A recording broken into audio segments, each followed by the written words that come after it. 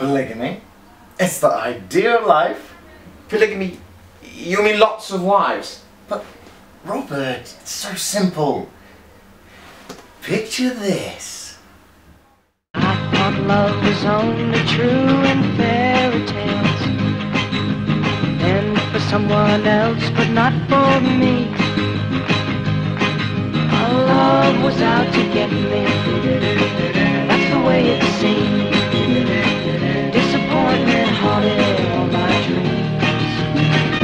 dreams Then I saw her face Now I'm a believer Not a trace of doubt in my mind. But Bernard, what if they all turn up at once? We're caught a trap. I can't walk out